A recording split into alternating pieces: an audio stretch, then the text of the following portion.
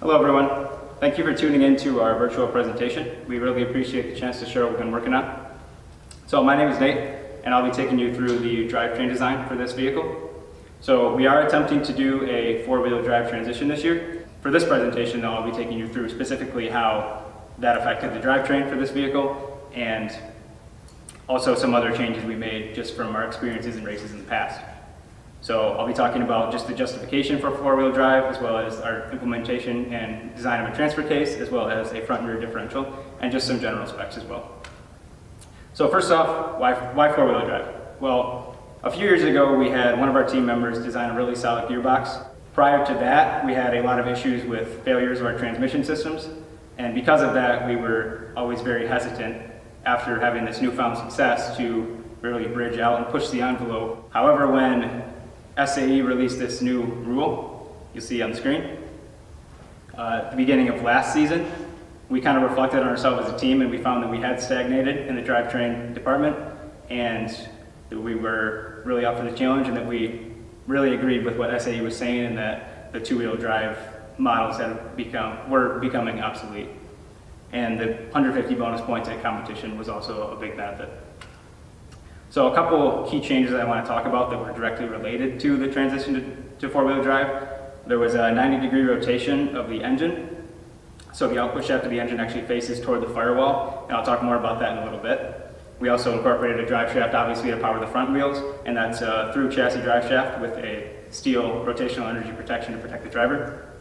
We designed a new transfer case, and we incorporated some differentials. And we also designed some new hubs to accommodate four-wheel drive, and we increased the fixed reduction in our gears.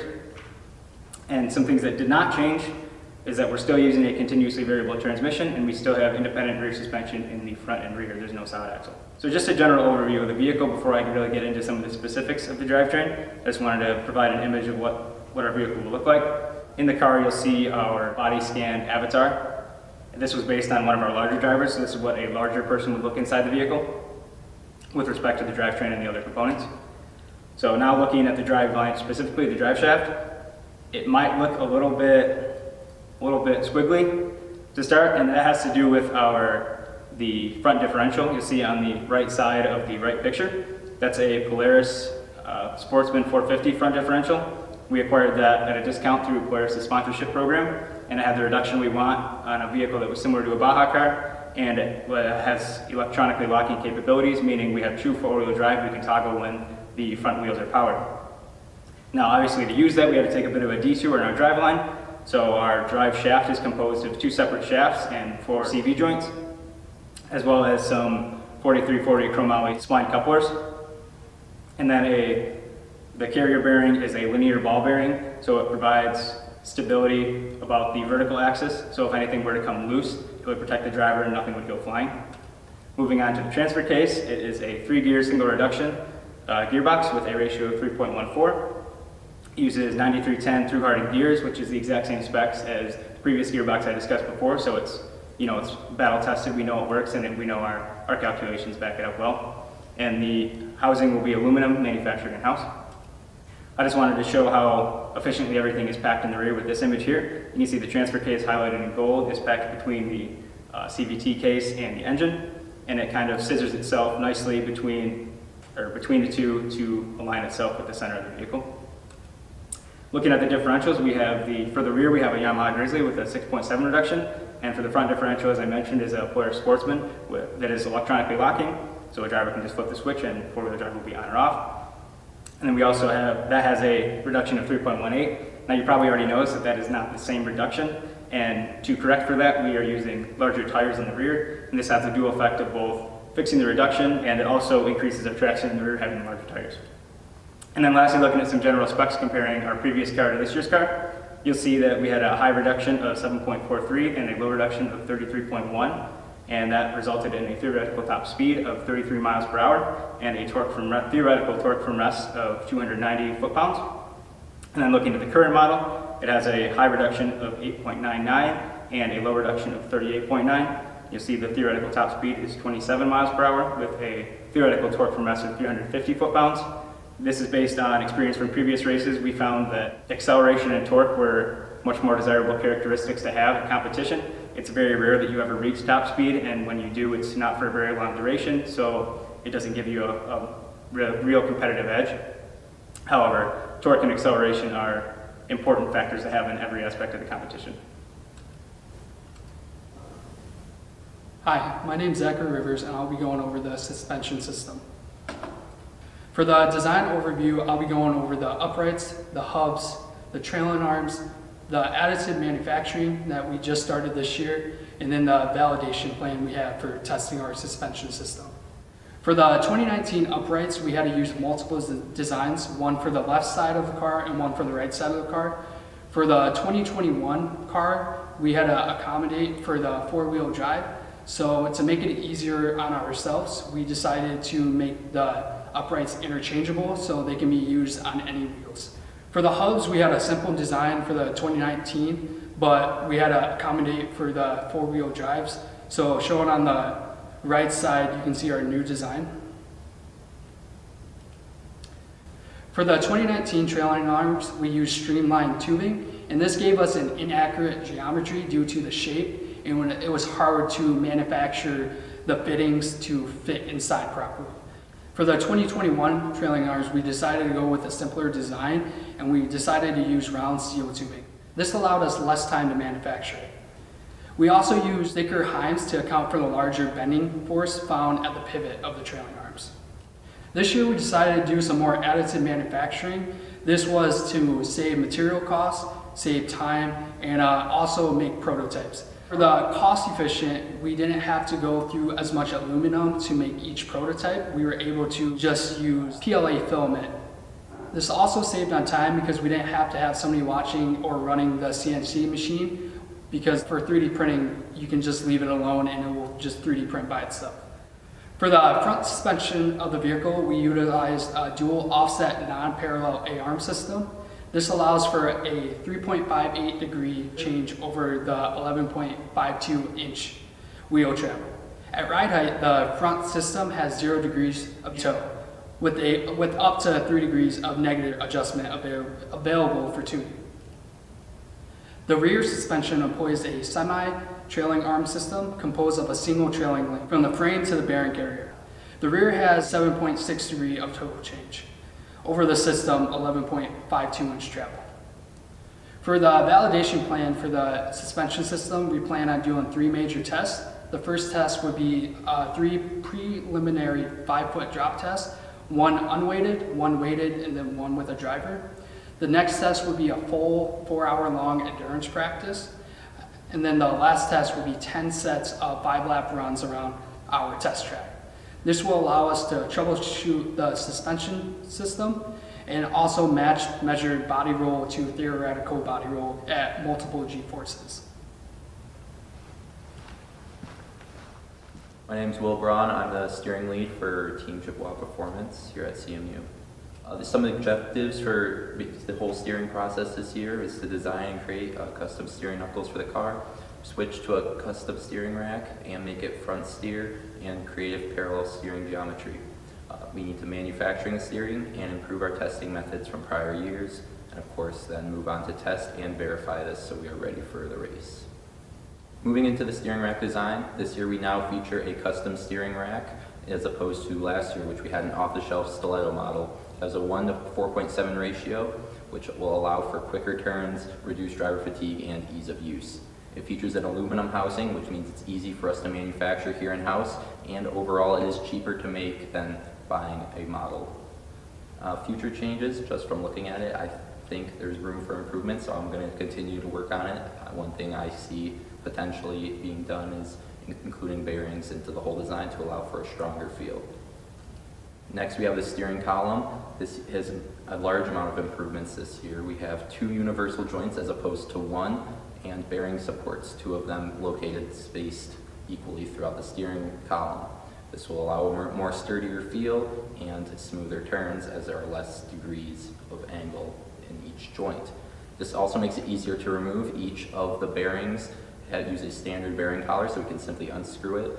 Last year's car did not have this and it was very hard to remove it, very time consuming. Also with these additional supports, I think it'll be much stronger, less wobbly. And just from installing it in the car at the moment, I can already see improvements. Steering uprights this year are aluminum, simple, easy to make, light, and they allow for a full range of motion, all while incorporating a center joint for a CV axle. Uh, there are some couple FEA tests from the Force Experience during a front end crash and jump. They will both are expected to hold up well during the competition. Some other steering components we have. Uh, this is one that I've looked at towards and think one thing that I definitely think needs to be improved. So on the top is the old design for the clevis. The major problem with this design is that it cannot rotate or be reused. What I say when I mean cannot rotate is that it is locked in place. As you can see, there are threads fixed directly to the clevis itself, so it is held in place. During the course of the race, due to vibrations and simply due to the nature of the tie rods and steering movement, it will tend to unscrew itself and be loose at the end of the race. So I needed a new design that would allow me to have a clevis that swivels to avoid these problems. The other problem is that it can't be reused. So if, say, during a crash, something hits the wheel, the force would travel through the tie rod and bend the clevis and threads on the end, making it junk. We can't reuse it, which is a waste of money. So the new design needed to incorporate a way that I could keep the clevis and switch out the threads if need be. So I came up with design number one in the middle, which is CNC milled and turned. It has a place where we can stick a bolt through it, standard hex head bolt, which will allow it to both swivel and replace the bolt if necessary. And design number two, which is a little cheaper, a little less elegant, is made from existing parts that can be ordered online and does the exact same thing. Both of these fix the problems from the old design, and I'm still working towards what will be better based on additional analysis. Next is the steering wheel. So the steering wheel is the driver's connection to the car, is where their hands go, it's their feel for the entire car and the driving experience. So this year we have a new shape for it. It is much more ergonomic and this is, comes from driver feedback based on the old steering wheel. Features 3D printed grips which are contoured to your hand and will be wrapped in a much softer material for additional comfort.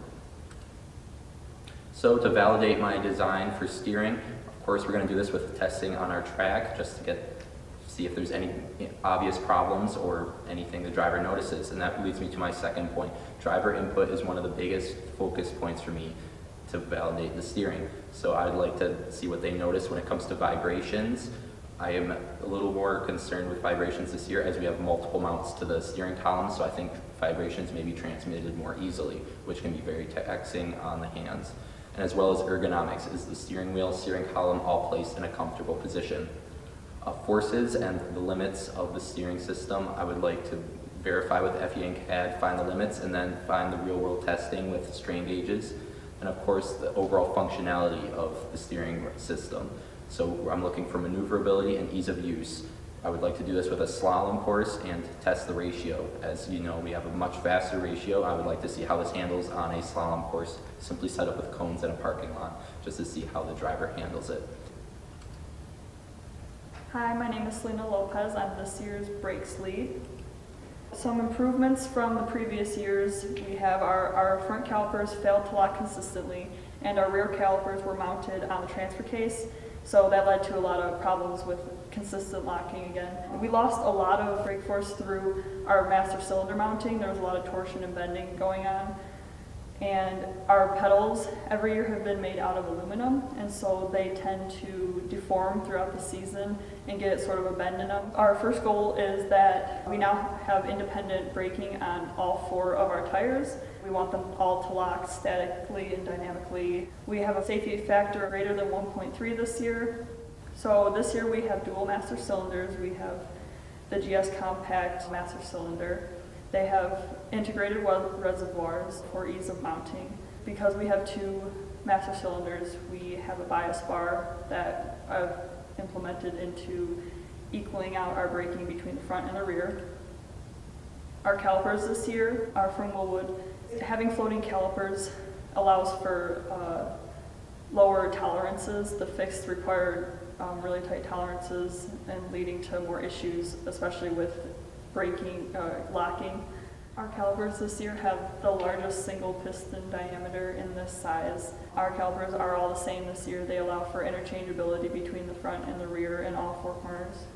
Our calipers are mounted on our new hubs. They're mounted at the wheels this year and In previous years, we had the front calipers mounted at the wheels, but the rear is mounted off the transfer case. The master cylinder is mounted in front of the pedal, and our brake pedal is mounted horizontally.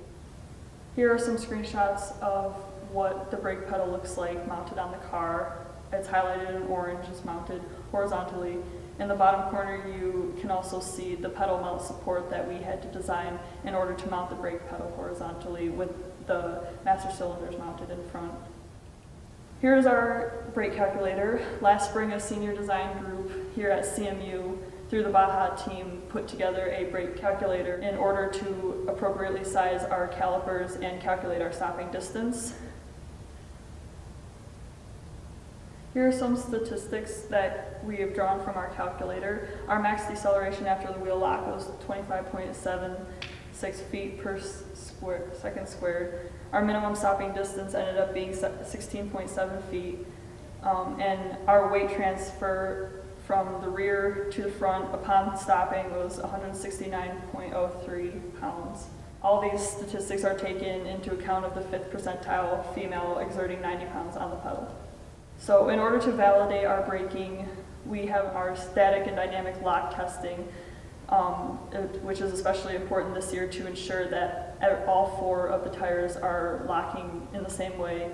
Our inline and brake line pressure gauge testing, and just validating our calculator and our stopping distance on various surfaces along with our friction on various surfaces. Thanks again for watching. If you have any questions, please feel free to reach out to any of the contacts listed over here. And if you want to learn more about our team, you can visit our website or any of our social medias.